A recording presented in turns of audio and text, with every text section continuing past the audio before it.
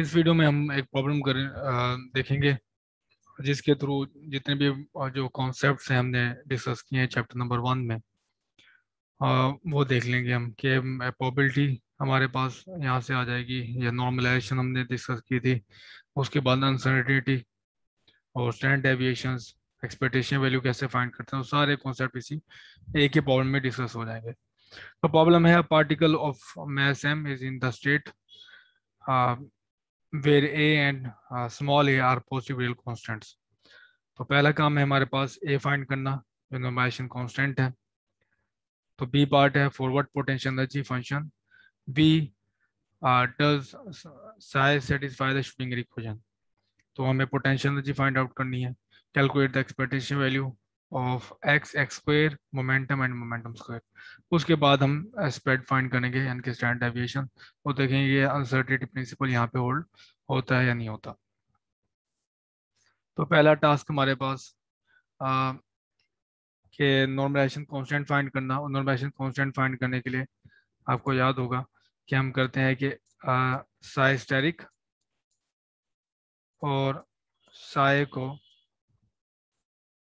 पूरे स्पेस पे इंटीग्रेट करते हैं और कंडीशन हमारे पास होती है कि इक्वल टू वन रखना है। और हमारे पास वन डायमेंशन है तो माइनस इन्फिनिट से लेकर इन्फिनिटी तक हम इंटीग्रेट करेंगे। तो इस दूसरी लाइन में मैंने यही किया कि यहाँ पे आपके पास है साइस्टेरिक साइस्टेरिक हमारे पास कॉन्जुगेट है साई का तो इसमें जितने भी आपके पास इमेजरी पार्ट इमेजरी होंगे पार्ट्स जैसे आयोटा है तो इसके साथ माइनस आ जाएगा। तो बाकी एज इट इज़ होगा तो ये देखें ए रियल कॉन्स्टेंट है तो ए एज इट इज़ आ जाएगा। ये ए भी रियल है मैथ भी रियल है, और तो यहाँ पे साइन चेंज नहीं हुआ। लेकिन आप यहाँ पे देख लें, यहाँ पे माइनस ये बाहर माइनस जो है, पूरी टर्म के साथ मल्टीप्लाई हो रहा है। तो यहाँ पर भी माइनस आएगा और यहाँ आयोटा के साथ भी माइनस है। तो स्टेरिक ने इस माइनस को प्लस कर दिया। ठीक है तो ये हमारे पास रहा साय स्टेरिक ये रहा मेरे पास साय एज इट इज़ यहाँ पे लिख दिया मैंने। तो अब हमने इसको सिंप्लीफाई करना है और इंटीग्रेट करना है। तो सिंप्लीफाई आप इस तरह से देखेंगे कि ये जो है, ये टर्म जब मल्टीप्लाई होगा इसकी टर्म के साथ। तो ये सेम बेस है और पावर भी सेम है, एक प्लस है और एक माइनस के साथ है। तो ये हमारे पास वन आ जाएगा, इसे कॉस्पॉन्ड बाकी जो ये टर्म है दोनों, ये हमारे पास बन जाएँगे स्क्वायर ए स्क्वायर बन गया और ई पावर टू बन गया हमारे पास। ये माइनस है और ये भी माइनस ये ऐड हो जाएँगे। तो ये जो आप इंटीग्रल देखें ये माइनस इंटीग्रेट से इन्फिनिट तक जो इंटीग्रेंट है, वो है एक्सपोनेंट और एक्सपोनेंट में एक्स स्क्वायर है। तो ये हमारे पास बन जाता है ये गॉजियन इंटीग्रल तो गॉजियन इंटीग्रल में हमारे पास जो अल्फ़ा है, इस केस में वो है is equal to two m a और एच कट तो इसके साथ अगर आप इसको रखेंगे तो ये बन जाएगा इंटीग्रल माइनस इन्फिनिटी से लेकर इन्फिनिटी तक। E minus alpha x square d x ठीक तो प्रीवियस लेक्चर से आप इसको देख सकते हैं कि इस गॉजियन का जो रिज़ल्ट है आ, वो है हमारे पास alpha over pi over alpha होता है। तो ये हमारे पास आ गया पाई ओवर अल्फ़ा ठीक है? तो पाए ओवर अल्फ़ा आप two m over a two m a over h cut है तो ये मेरे पास रिज़ल्ट आ गया इस इंटीग्रल का।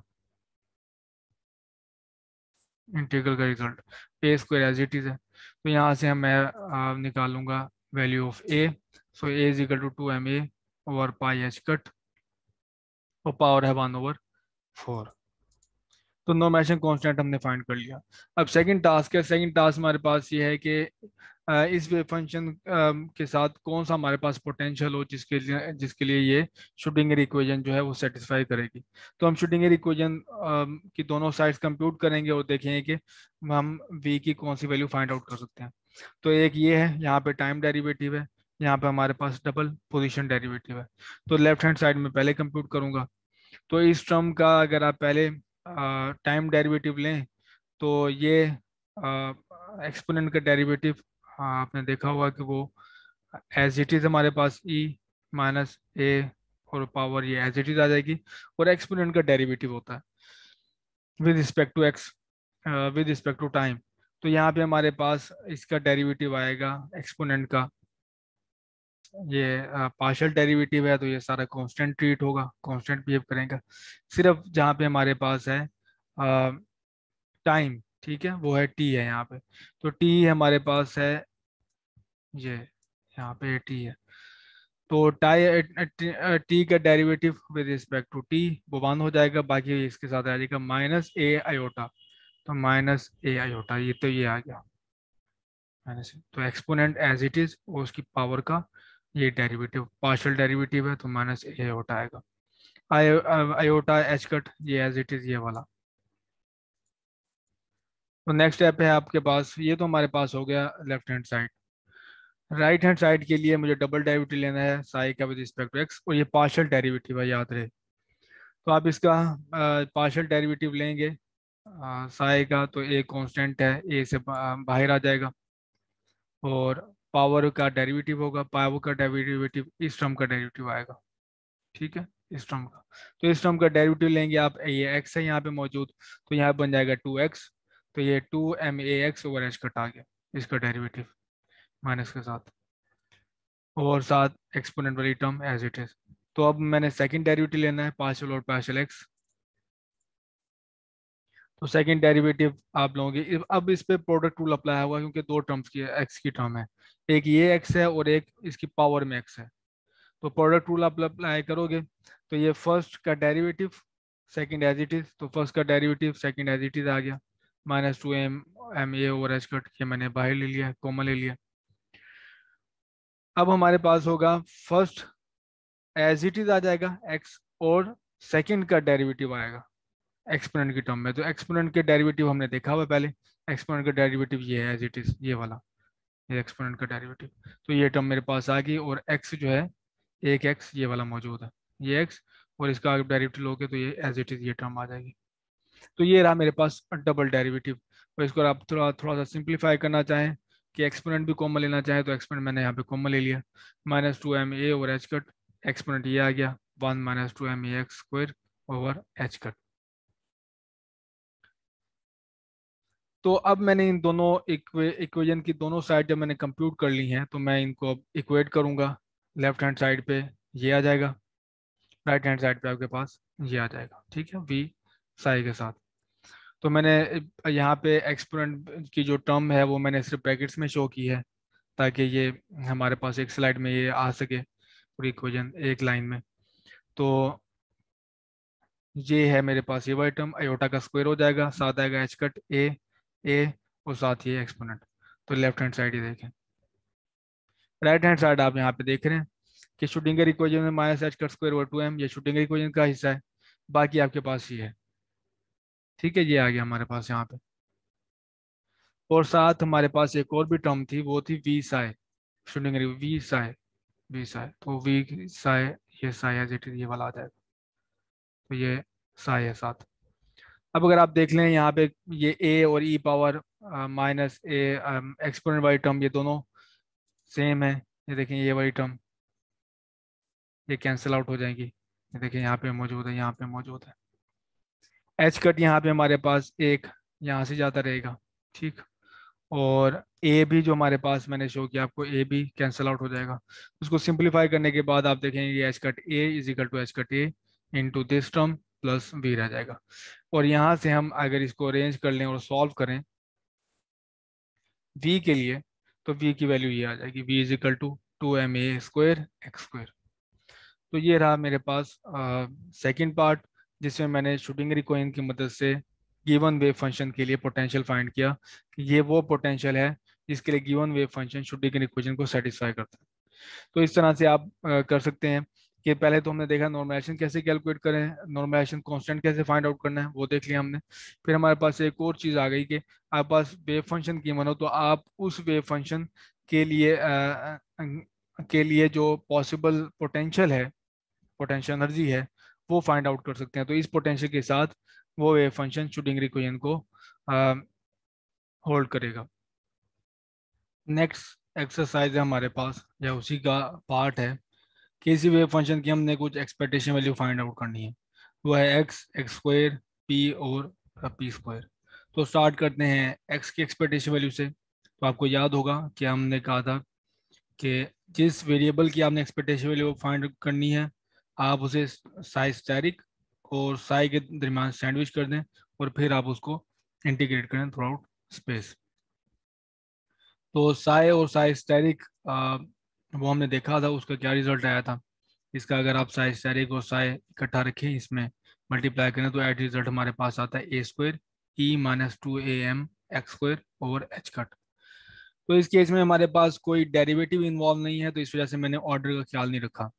कि एक्स मैंने यहाँ पे पहले मल्टीप्लाई कर दिया साई स्टैरिक और साई को और फिर साथ एक्स रख दिया। लेकिन जब आपके पास डेरिवेटिव इन्वॉल्व होगा ऑपरेटर में तो फिर आप ये काम नहीं कर सकते। आपको अलग अलग ऑर्डर में रखना होगा। साई स्टैरिक आप पीछे रखेंगे साई को आगे रखेंगे।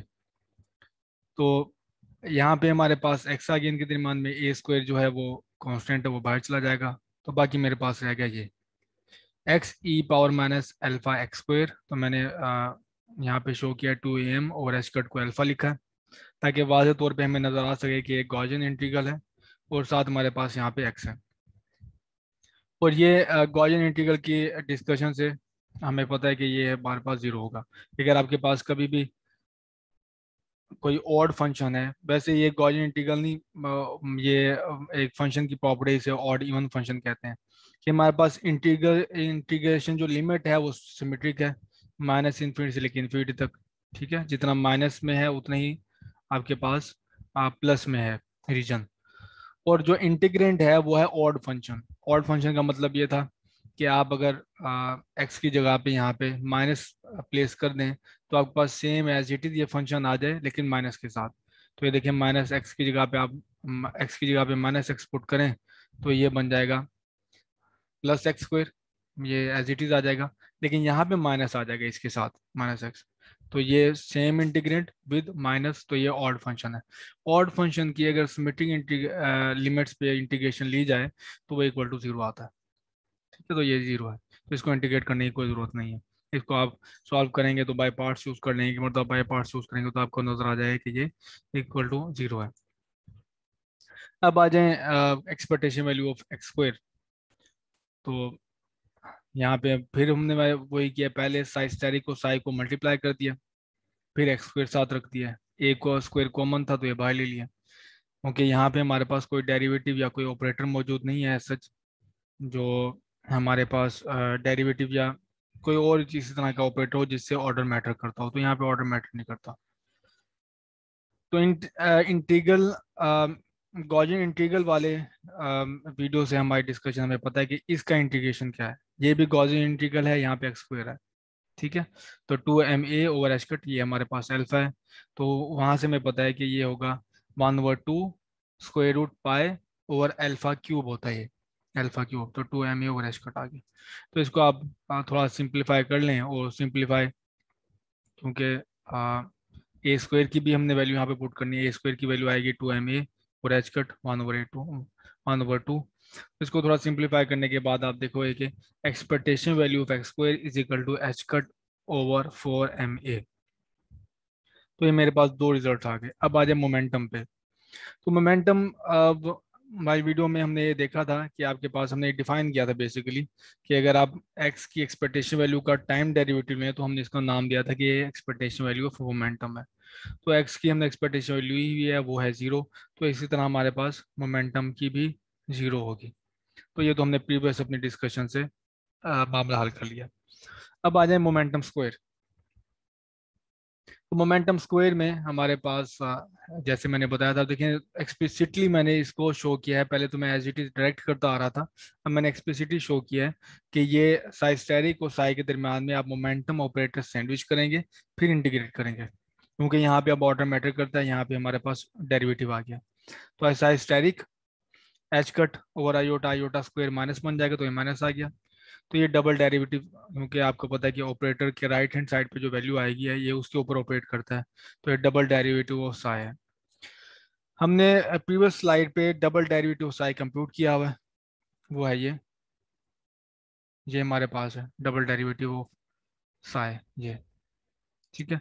तो इसकी वैल्यू हम पुट कर देंगे यहाँ पे। तो डबल डेरिवेटिव ऑफ़ साई की वैल्यू यहाँ पे मैंने पुट कर दी, वो क्या है?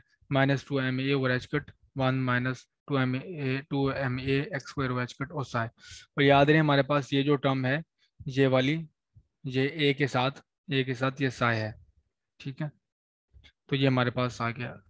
तो साइस्टेरिक साई और दरमान में यहाँ पे डबल डेरिवेटिव ऑफ़ ये बल्कि साय जो है साथ ही ये डबल डेरिवेटिव मैंने स्क्वायर ब्रैकेट्स में शो किया हुआ अब आप इसे टर्म बाय टर्म इंटीग्रेट कर सकते हैं साइस्टेरिक वन के साथ साइस्टेरिक इस टर्म के साथ। तो ये मेरे पास two a m h cut क्योंकि two m a h cut और साई जो है मेरे पास two m a h cut जो है मैंने कॉमनली लिया बाहर।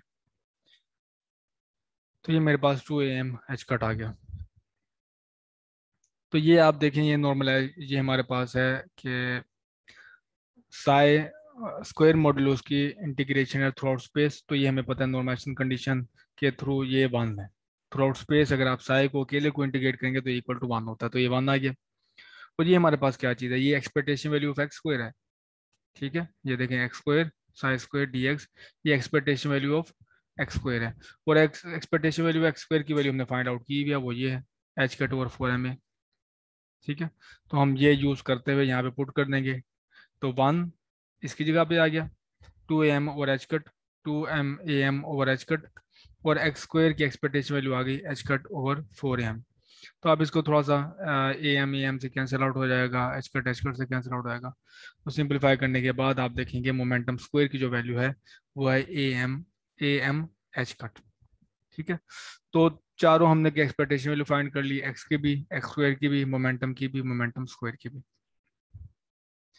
तो डी पार्ट था हमारे पास कि हमने स्टैंडर्ड डेविएशन या फिर आप ये अनसर्टिटी भी हमने फाइंड आउट करनी है और देखना है कि मोमेंटम और पोजीशन जो है वो अनसर्टिटी रिलेशन होल्ड करते हैं या नहीं करते तो स्टैंडर्ड डेविएशन हमें प्रीवियस नॉलेज से हमें पता है, जो हमने डिस्कस की हैं प्रोबेबिलिटी वाले लेक्चर्स में sigma x square is equal to जो वेरिएशन इज़ इक्वल टू होते हैं एक्स स्क्वायर की expectation value minus expectation value का स्क्वायर तो एक्स स्क्वायर की वैल्यू हमारे पास है h cut over four m तो h cut over four m इसकी वैल्यू ज़ीरो है तो मेरे पास आज गया h cut over four m तो सिग्मा एक्स बन गया square root h cut over four m अब अगर आप बात करें मोमेंटम की तो मोमेंटम की वैल्यू है, अभी हमने फाइंड आउट किया वो ए एम एच कट है इसकी वैल्यू हमारे पास ज़ीरो है तो ये हमारे पास सिग्मा पी की वैल्यू आ गई square root a m h cut अब हमने इन दोनों को मल्टीप्लाई करना है तो मल्टीप्लाई आप करें, ये h cut four a m square root ये आ गया सिग्मा एक्स की जगह पे square root a m h cut तो ये हमारे पास आ गई. तो इन दोनों का आप ए एम ई एम से कैंसिल आउट हो जाएगा, और एच कट स्क्वायर बन जाएगा, और फोर बन जाएगा तो ये बनता है एच कट ओवर टू तो बिल्कुल हमने जो लोएस्ट है अनसर्टिटी रिलेशन में वैल्यू वो हमने फाइंड आउट कर लिया equality h cut over two है तो हम थर्ड चैप्टर में जाके देखेंगे कि ये जो बेसिकली हमने अनसर्टिटी रिलेशन जो है एच कट ओवर टू इस केस में हमारे पास खैर हमारे पास जो टास्क हमने फाइंड आउट कर लिया। तो ये तकरीबन हमें पूरे चैप्टर का ओवरव्यू देता है कि आपने वे फ़ंक्शन की नॉर्मलाइजेशन कैसे करनी है। नॉर्मलाइजेबल कैसे करना है? तो वे फ़ंक्शन नॉर्मलाइज होना ज़रूरी है, तभी आप उसको प्रोबेबिलिटी के टर्म में आप बता सकते हैं। इस केस में आप प्रोबेबिलिटी हमने किसी रीजन की फाइंड आउट नहीं की तो वो काफ़ी एक्सरसाइज में कर चुके हैं तो वो वहाँ से कवर हो जाएगा। हमने यहाँ पे एक्सपेक्टेशन वैल्यू फाइंड आउट की हैं, और एक बेसिकली जो नई चीज़ की है, जो प्रीवियस एक्सरसाइज में नहीं थी, वो ये अनसर्टी रिलेशन देखा है कि वो सेटिस्फाई होता है या नहीं होता। तो ये क्वालिटी पे हमारे पास सेटिस्फाई होता है। तो इसकी एक और एक्सरसाइज है जो मैं चाहूँगा कि आप वो खुद करें। वो है कि आप, आप जो प्रोबिलिटी करंट है आ, उसको देख लें वो इसकी एक्सरसाइज है। तो प्रोबिलिटी करंट एक छोटा सा कॉन्सेप्ट है जो आप खुद से आ, सीख सकते हैं। तो नेक्स्ट लेक्चर से हम आ, देखेंगे कि हमारे पास चैप्टर नंबर टू है। चैप्टर नंबर टू हमें अभी तो हमने वेव फ़ंक्शन पहले से गिवन है और हमने उससे मुझे कोई डायनामिकल क्वांटिटीज फाइंड आउट की हैं एक्सपेक्टेशन लोग फाइंड आउट की हैं। तो उसमें हम देखेंगे कि आपने बेसिकली साय फाइंड करना कैसे है, ठीक है? साय आपको मिलेगा कैसे?